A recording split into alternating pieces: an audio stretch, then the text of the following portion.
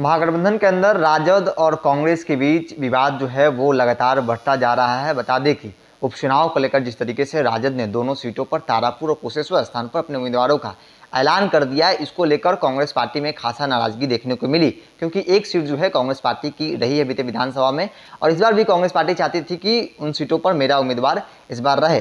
लेकिन मान लीजिए कि इस पूरे प्रकरण में पप्पू यादव की एंट्री को लेकर, कांग्रेस में एंट्री को लेकर लगातार बीते दिन से चर्चा हो रही है। पप्पू यादव बड़ी होने के बाद यह चर्चा खूब हो रही है बिहार की राजनीति में कि पप्पू यादव की एंट्री कांग्रेस पार्टी में हो रही है। और साथ ही साथ तारापुर से भी चुनाव लड़ेंगे। इस वक्त मेरे साथ कांग्रेस विधायक दल के नेता अजीत शर्मा।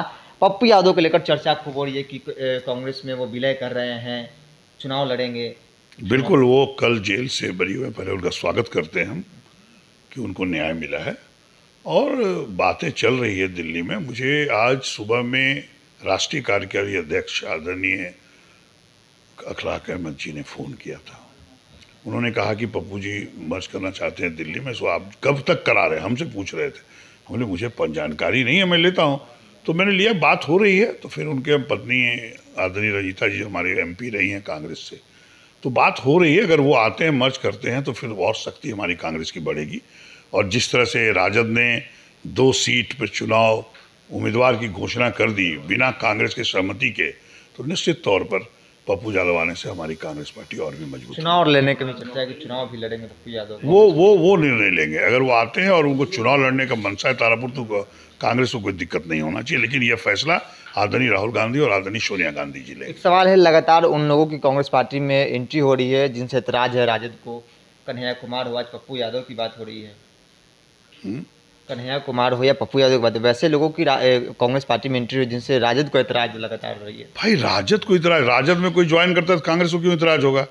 हर कोई का स्वागत करेगा ना पार्टी। कांग्रेस में जितने लोग आना चाहें, ये तो अभी कन्हैया कुमार जी आए हैं, पप्पू यादव आने जी की बात हो रही है, और भी जितने लोग देश में बड़े बड़े नेता हैं, वो कांग्रेस में आएँगे, उनका स्वागत है। क्योंकि हम लोग मिलजुल के, जो भारतीय जनता पार्टी झूठ बोलने युवकों को रोज़गार देने का झूठ बोल रही है, चाहे राम के नाम पे, राम मंदिर के नाम पे जनता गुमराह कर रही है। पाकिस्तान का डर दिखा रही है देश खतरे में है। इन चीज़ों से उभरने के लिए, देश में विकास करने के लिए, हम तो चाहेंगे राज्य के सभी बड़े नेता आए कांग्रेस में और सभी मिलजुल के कांग्रेस को मज़बूत करके देश को आगे बढ़ाने का काम। कल प्रदेश अध्यक्ष राजद किरण ने कहा कि जो फैसला ले लिए हम ले लिए अब इसमें कुछ नहीं होने लगा सब कुछ सोच समझ कर लिया गया फैसला। ये राजद के अध्यक्ष ने कहा। अध्यक्ष ने कहा। भाई वो अब क्या कह रहे हैं? हम तो दोनों सीट पर चुनाव लड़ रहे हैं। आप लड़िएगा तो कांग्रेस पार्टी लड़ेगी और कांग्रेस पार्टी दोनों सीट जीतेगी आप याद रखिएगा। उनके बोलने दीजिए। इस बार उनको पता चलेगा कांग्रेस पार्टी है क्या। आज पप्पू यादव को लेकर फाइनल हो जाएगा ये केंद्रीय नेतृत्व हमारा आदरणीय राहुल गांधी जी, आदरणीय सोनिया गांधी तय करेंगे, लेकिन हमें लगता है कि आज फैसला हो जाना चाहिए।